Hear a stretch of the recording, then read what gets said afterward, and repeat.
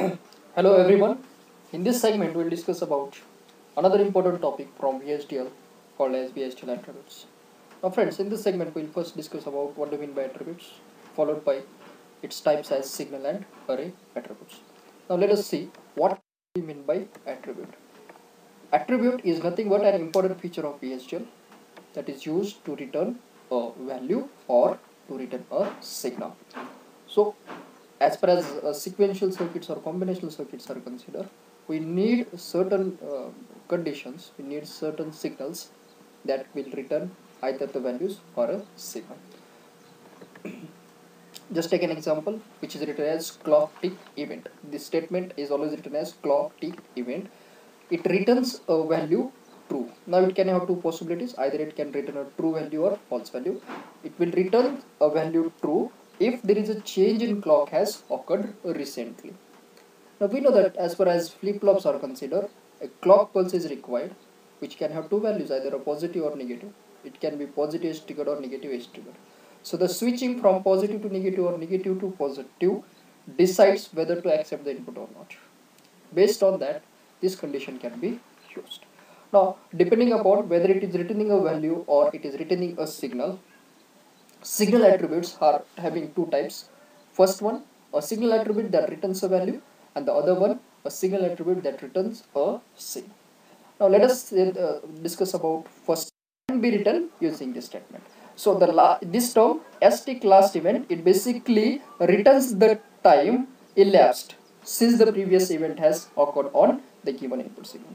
Similarly next attribute we have S-tick last value now it will return the value of s before the prevent event or s that means पिछला जो event हुआ था उसका जो value होगा वो यहाँ पर रिटर्न किया जाएगा similarly we have the next as S tick last active now what it returns it simply returns the time elapsed since the previous transaction on S. So if there is a transaction occur, that means if there is the value which is going to be, which is not going to be changed, that value will be uh, written. So based on that, it is going to return the values. These are only few example, active event, last event, last value or last active. Now let us come across the signal attributes that are used to return a signal. Now we have four types over here. They are written as S-tick delayed, S-tick stable, S-tick quit and S-tick transaction. Now let us see the first one as S-tick delayed. Now what it creates? It creates a signal which is same as S but it is delayed by specific time. That means uh, if the input signal is starting from say 0 to 10 nanosecond it has a value 1 then that one value will shifted by the given amount of time. So there is a delay in the input signal. That signal will be created. Similarly next xt stable. Now what it creates? It creates a boolean signal that is true if s had no events for the specific time that means there is no change in the output values. That signal can be created by using S-tick stable. Next S-tick quit. It it what it creates? It creates a boolean signal that is true if s had no transaction for the specific time. Now if s has no transaction that it simply indicates that there are not the values are not going to be changed. And if the values are not going to be changed automatically we can suspend the operation. So it can be uh, turned out by using S-tick quit. Next we have S-tick transaction. Now what it creates? It creates a signal of type bit that changes for every transaction on S. That means every time the value is going to be changed from 0 to 1, 0 to 1, 0 to 1, 0 to 1. As you know that transaction is nothing but the previous uh, values are going to be remains same for the given specific amount of time.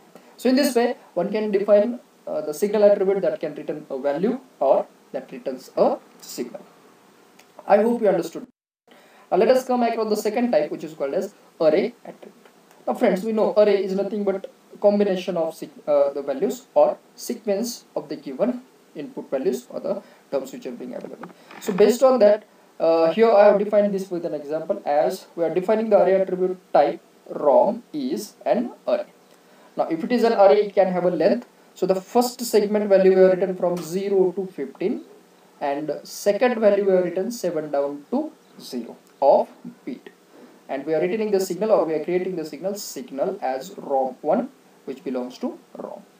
Up. ये अरे attribute है तो उसका कुछ properties होगा we have that attribute terms as first A tick left N ये क्या return करेगा it returns the left bound of nth index range For example अगर हम हम्म। रॉमन का बात करते हैं this is going to be our first particular term so it is return as rom one tick left one so it will return the left index of the given term which is going to be zero similarly rom one left two that means ये segment का जो left term है that will be seven that will be return similarly a tick it will return all right values like first sequence का fifteen है और second sequence का zero next a take high n तो it will return largest bound of the given segment as पर as the first segment is considered the largest bound is 15 और second segment का है seven so it can be fifteen और seven similarly a take low n it will return smallest bound in case of this zero to fifteen the value is zero and in case of seven down to zero the value is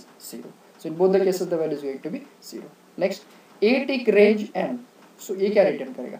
It will return the range of first segment as well as second segment which is 0 to 15 and 7 down to 0 so in this way, one can uh, return the uh, values of array attributes also. I hope you understood the array attributes as well as signal attributes. Thank you.